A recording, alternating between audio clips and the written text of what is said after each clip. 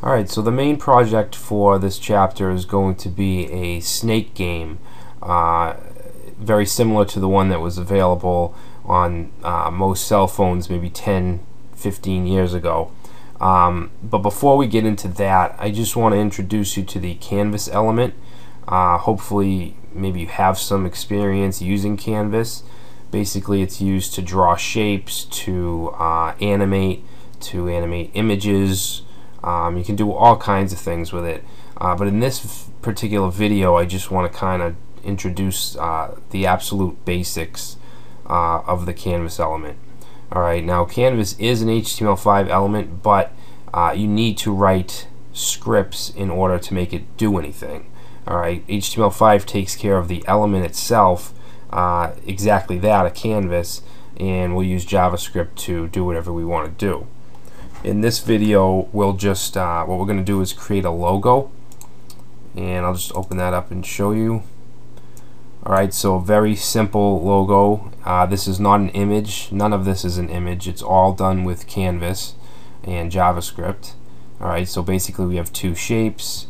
Uh, one shape has a stroke or a border and then we can also create text with the canvas element and you can see that the text actually is gradient, has a gradient coloring. And then we have a line which we can do in canvas as well. We can uh, draw and connect lines to make different kinds of shapes and images. Alright, so we'll do that, and then I want to give you a very basic introduction to animation. Alright, so we're going to create this, which is just a, a black canvas, and we created some circles, and we're just going to animate them across and down the canvas. Alright, so very simple. So let's get started on the logo first. Alright, so we have our finished product here. I'm just going to create, actually I'm going to rename, rename this here. Okay, so that's our finished one. So let's create a new folder called Canvas. And then in there, create a new document, canvas.html. I'm not going to use any external JavaScript, JavaScript files. I'm just going to do it all in one file. It's not that much code, so. Alright, so here's our HTML file. Whoop, I just want to paste in just a basic uh, structure. Alright, so we have our head and body tags.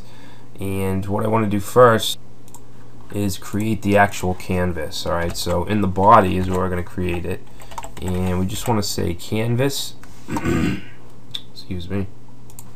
And we're going to give this an ID and we'll call it my canvas alright? Because we're going to use JavaScript and in order to grab this element we're going to use the um, get element by ID method okay so an ID we also want to define a width. Um, we're going to say 400 and also a height. And height will be 150 Whoop. and that's it. We want to close this. Alright now if if your user is using a browser that that doesn't support canvas you can actually um, do whatever you want to happen when they visit this, the page right in here right in between the canvas tags so we'll just say sorry your browser doesn't use the canvas feature. Alright, so they'll just see that message if, if they their browser doesn't support it. All the latest versions of all the modern browsers do support Canvas, but um, you never know. Some people uh, don't update their browser as often as they should. Alright, so that is actually it for our HTML. all right, so uh, very simple. All the all the work, um, all the power comes from your JavaScript. So that's what we're going to do now.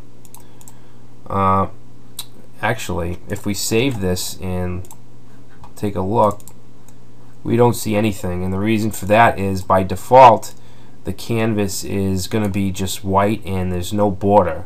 So what we want to do is just add a little bit of CSS to give it a border so that we can actually see uh, where it starts and where it begins. Alright, so up here we'll just create some style tags and we can actually just grab it with canvas and we're going to give it a border.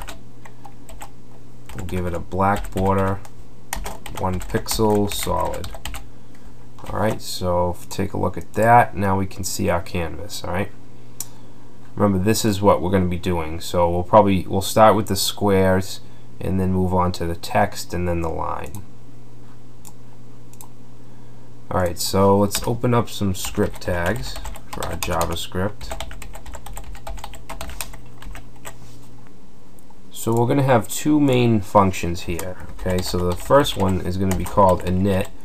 Okay, this will initialize everything for us. This will initialize the canvas. Alright, and then we want another function called draw. Okay, so this is the function we're going to use to draw the, the, the whole thing, the rectangles, the text, everything.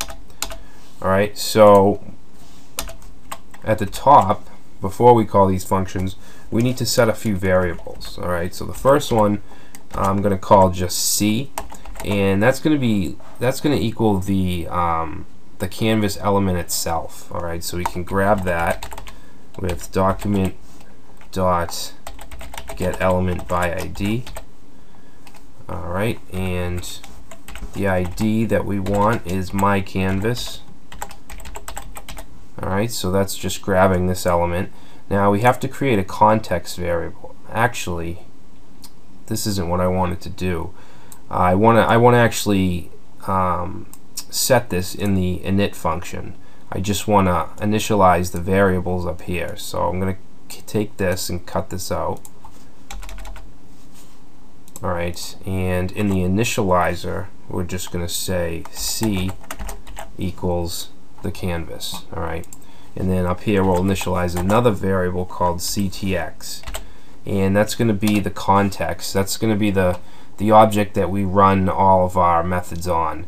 Um, so in here we want to say ctx equals uh, c, which is our canvas element, dot get context.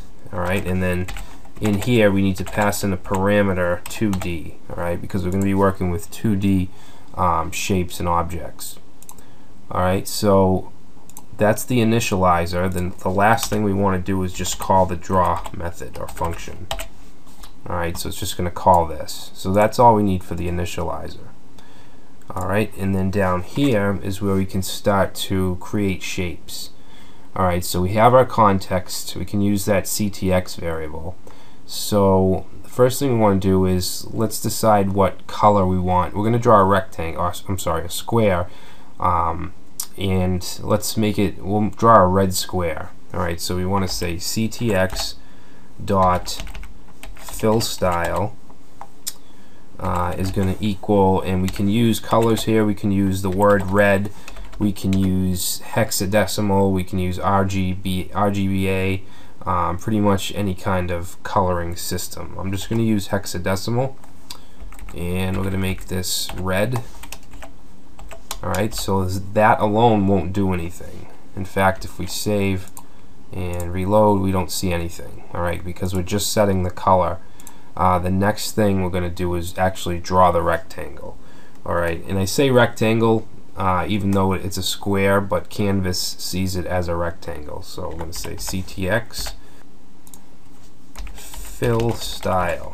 Alright, so this basically is going to be the color that we want this shape to be. Okay, uh, and you can use words, you can use red, uh, you can use um, uh, RGBA values, and you can use hexadecimal. Alright, so I'm going to put the hexadecimal value for red FF0000.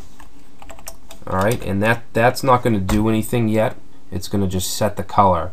In order to create the shape, we need to do ctx dot uh, fill rect. Alright, so fill rectangle. And that's going to take four parameters. The first is going to be the position on the x-axis. All right, so if we look at our canvas, uh, the x-axis runs horizontally. So the amount of pixels from here is is going to be this the first parameter. The second parameter is going to be the y-axis. So from the top down. All right, so let's go ahead and do.